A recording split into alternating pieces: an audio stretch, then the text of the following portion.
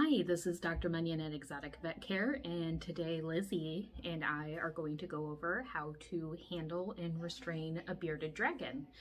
And you'll need this in everyday life to work with your dragon, but also if you're having problems where you have to syringe feed them, give injections, or uh, give some sub-Q fluids. So let's get working. So as you can see, Lizzie's pretty comfortable if we support her from under the belly.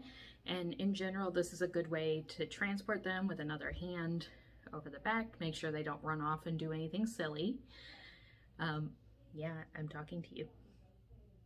Then if Lizzie was being very naughty and didn't want to cooperate with something,